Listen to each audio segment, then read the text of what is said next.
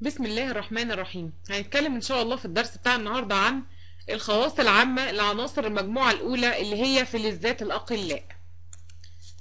وده هيكون استكمال لكلامنا عن الدرس اللي فات. أول حاجة هنتكلم عن الخواص العامة لمجموعة لعناصر المجموعة الأولى.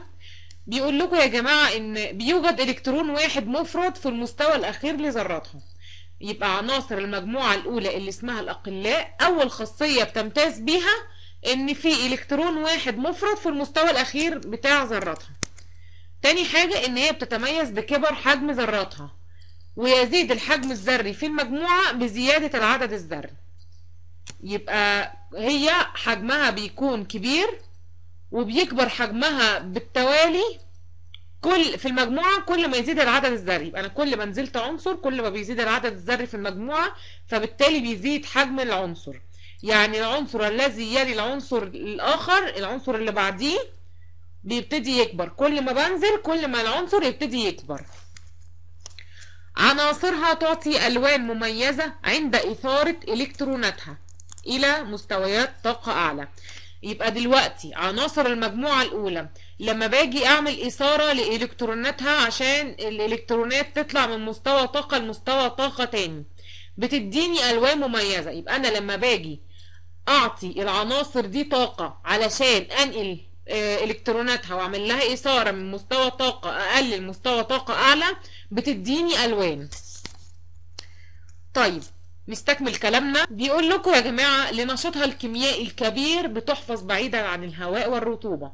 يبقى بالتالي هي عناصر المجموعة الأولى بتكون عناصر نشطة جدا فبالتالي بنحفظها بعيد عن الهواء والرطوبة. بنحفظها في إيه؟ في الهيدروكربونات السائلة. تمام؟ ليه؟ لأنها بتصدق في الهواء. وكمان يا جماعة من ضمن الخواص لعناصر المجموعة الأولى إن هي بتحل محل هيدروجين الماء. مع الأكسجين بتديني ثلاث أنواع من الأكاسيد. وبتحل محل هيدروجين الأحماض. تمام؟ يبقى الخلاصة بتاعة الجزئية دي إن هي أول حاجة حجمها كبير تمام؟ وبزيادة العدد الذري بيزيد حجم الذرات بتاعتها تمام؟ وكمان إن هي بيكون في إلكترون واحد مفرد في المستوى الأخير لذراتها وبتديني ألوان مميزة مجرد ما بيحصل لها إثارة.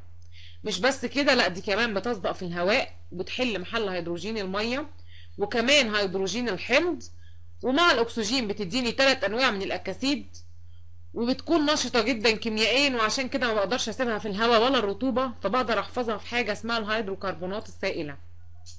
طيب. مش بس كده بتكون مع الهالوجينات هاليدات أيونية الهالوجينات اللي هي الكلور والفلور وكده. تمام؟ يبقى العناصر المجموعة الأولى بتكون مع الهالوجينات هلي... بتكون لي هاليدات أيونية. بتكون مع الهيدروجين هيدريدات. الفلزات الساخنة بتكون مع الكبريت كبريتيد الفلز ومع الفوسفور فوسفيد الفلز. يبقى أنا عندي فلزات عناصر المجموعة الأولى. لما أجي أسخنها وأفعلها مع الكبريت تديني كبريتيد الفلز. ومع الفوسفور تديني فوسفيد الفلز. معظم أملاحها الأكسجينية ثابتة حراريا. طيب إيه هي؟ إحنا كده قلنا الخواص بتاعت عناصر المجموعة الأولى. يبقى نراجع كده يا جماعة بسرعة. أول حاجة إن هي في إلكترون واحد مفرد في مستوى طاقتها الأخير وكمان إن هي حجم ذراتها كبير وبيزيد حجم ذراتها ده بزيادة العدد الذري في المجموعة. وكمان عناصرها بتعطي ألوان مميزة. لما بيحصل لها إثارة الإلكترونات عشان أنقلها من مستوى طاقة أقل لمستوى طاقة أعلى. مش بس كده لأ ده كمان ليها نشاط كيميائي كبير جدا. فعشان كده بحفظها بعيد عن الهواء والرطوبة.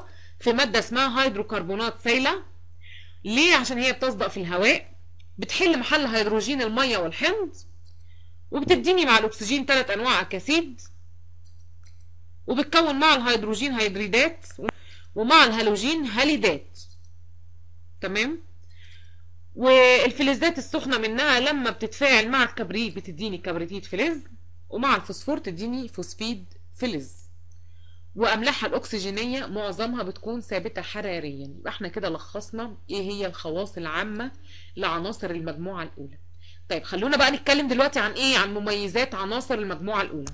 أول حاجة وجود إلكترون واحد مفرد في مستوى الطاقة الأخير NS واحد بيترتب على ذلك ما يلي يبقى أنا عندي علشان موجود في إلكترون واحد مفرد في مستوى الطاقة الأخير لعناصر المجموعة الأولى بيترتب عليه اللي جاي كله. أول حاجة إن بيقع كل عنصر من عناصر المجموعة الأولى دي في بداية دورة جديدة. تمام؟ يبقى أنا كل عنصر بالنسبة لي هو عبارة عن بداية دورة جديدة في الجدول الدوري. عدد تأكسدها جميعا زائد واحد. ليه؟ لأن هي فيها إلكترون واحد في مستوى الطاقة الأخير سهل جدا إنه يمشي ويبقى زائد واحد. تمام؟ نشاطها الكيميائي كبير جدا لسهولة فقد الإلكترون بتاع مستوى الطاقة الأخير. طيب لذلك فإن قيم جهد تأينها الأول تعتبر أقل من قيم جهد التأين لجميع العناصر المعروفة. يبقى عناصر المجموعة الأولى جهد التأين بتاعها قليل مقارنة بجهد التأين بتاع جميع العناصر المعروفة. ليه؟ لأن مستوى الطاقة الأخير بتاعها فيه إلكترون واحد سهل جدا إن هو يخرج. بس مشكلتي بقى بعد ما يخرج تعالوا نشوف. لكن جهد التأين الثاني فهو كبير جدا. ليه؟ لأنه بيتسبب في كسر مستوى طاقة مكتمل أي كسر النظام إلكتروني مستقر. دلوقتي أنا لما الإلكترون خلاص طلع وكون لي بوزيتيف واحد اللي هو جهد التأين الأول. خلاص بأقل طاقة ممكنة العنصر ممكن ياخدها.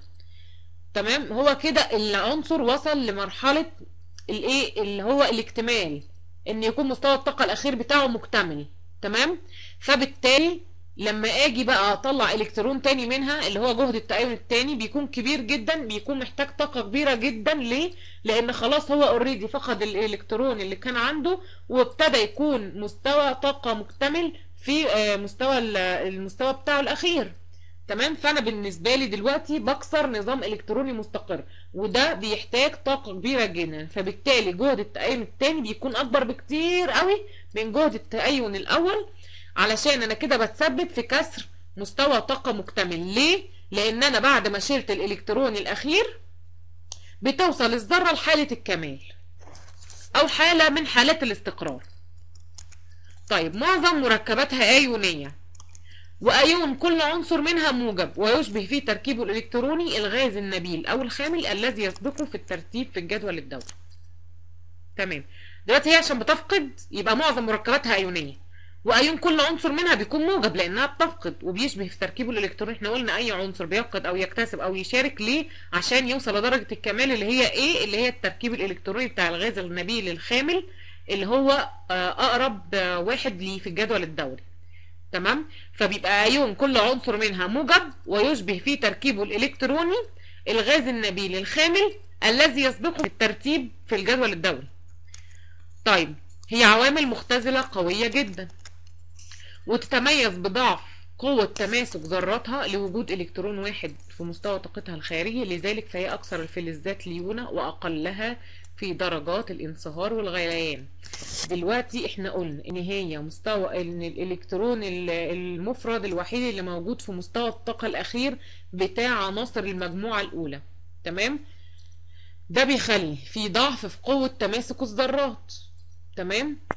عشان وجود الإلكترون ده في مستوى طاقتها الخارجي فبالتالي مادام هي آه الإلكترونات ما بينها وما بين بعضها مش متماسكة كويس أو الذرات ما بينها وما بين بعضها مش متماسكة كويس فبالتالي بتكون الرابطة الفلزية ما بينهم ضعيفة. فبتكون بتكون شكلها إيه؟ إحنا قلنا لما بتكون الروابط ما بينهم ضعيفة بتكون لينة يعني طرية خالص وسايبة وأقلها في درجات الانصهار والغليان يعني من أقل حاجة تنصهر وتغلي. ليه لضعف الرابطة الفلزية بين ذراتها زي ما قلنا قبل كده؟ طيب ملحوظة هامه قوة الرابطة الفلزية زي ما قلنا بيحددها عدد الإلكترونات في مستوى الطاقة الخارجي للفلز. بمعنى إيه؟ إن كل ما يزيد عدد الإلكترونات في مستوى الطاقة الخارجي بتزيد قوة الرابطة الفلزية وأصبحت ذرة الفلز أكثر تماسكا أكثر صلابة وبتزيد درجة الانصهار والغليان. يبقى إحنا زي ما قلنا قبل كده إن قوة يبقى إحنا زي ما قلنا قبل كده إن قوة الرابطة الفلزية ما بين ذرات الفلز بيحددها. أول حاجة إن الذرات عدد الإلكترونات في مستوى الطاقة الخارجي كل ما يزيد كل ما تزيد قوة الرابطة. معناه إيه؟ تزيد قوة الرابطة الفلزية معناه إن الذرة تصبح أكثر تماسك أكثر صلابة بتزيد درجة الانصهار والغليان بتاعة الذرة أو بتاع العنصر تمام؟ طيب يبقى استنتجنا من الدرس ده. اتكلمنا عن عناصر المجموعة الأولى والخواص العامة لعناصر المجموعة الأولى مميزات عناصر المجموعة الأولى. واتكلمنا عن الملحوظة الهامة اللي هي بتتكلم عن آه إيه اللي بيحدد قوة الرابطة الفلزية الأسئلة اللي ممكن تيجي في الجزئية دي ما هي الخواص العامة لعناصر المجموعة الأولى؟ فلزات الأقلاء. تاني سؤال ما هي مميزات عناصر المجموعة الأولى؟ علل جهد التأين الثاني لعناصر الأقلاء كبير جدا. عناصر فلزات الأقلاء عوامل مختزلة قوية جدا. شكرا.